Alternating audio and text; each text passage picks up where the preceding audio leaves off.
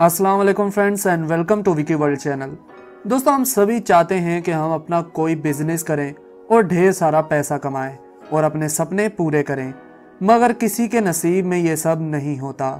آج کی اس ویڈیو میں بات کریں گے ایسی لڑکی کے بارے میں جو اپنے استعمال شدہ گندے ساکس اور شوز بیچ کر سالانہ ڈیڑھ کروڑ تک کماتی ہے۔ تو ویڈیو شروع کرتے ہیں، لیکن اس سے پہلے اس چینل کو سبسکرائب کر لیں اور ساتھ موجود گھنٹی کے نشان کو لازمی دبائیں۔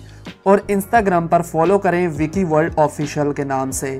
لنک ڈسکرپشن میں موجود ہے۔ برطانوی ماڈل اور جائیدادوں کی خرید و فروخت میں معاونت کرنے والی تینتیس سالہ روکسی سائکس عام ماڈلز کی طرح زندگی بسر کر رہی تھی کہ اتنے میں ان کے مداحوں نے ان کے پیروں کو غیر معمولی طور پر خوبصورت قرار دے دیا۔ جب لوگوں نے ان کے پیروں کی تعریف کی تو روکسی کو خیال آیا کہ کیوں نہ وہ اپنے خوبصورت پاؤں سے وابستہ اشیاء فروخت کر کے رقم کمائے۔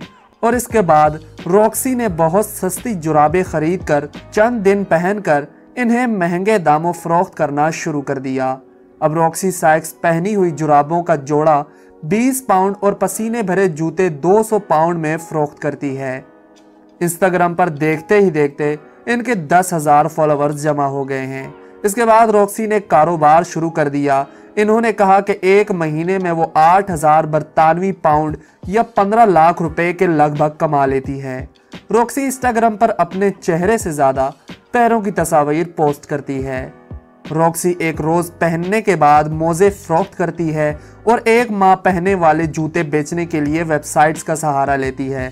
یہاں تک کہ ان کے پاؤں کے ایک انگوٹھے ہلانے والی ویڈیو بھی سو ڈالر بآسانی کما لیتی ہے۔ روکسی ان بدبودار سوکس اور شوز کو بیچ کر سالانہ ڈیڑھ کروڑ تک کما لیتی ہے، جو کافی ناقابل یقین بات ہے۔ کون ہے جو ایسے سوکس خریدے گا؟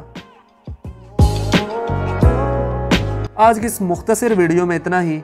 اگر ویڈیو پسند آئی ہو تو اسے لائک کریں، شیئر کریں اور اس چینل کو سبسکرائب کر کے بیل آئیکن پر لازمی کلک کریں تاکہ ہماری ہر ویڈیو آپ تک آسانی سے پہنچ جائے۔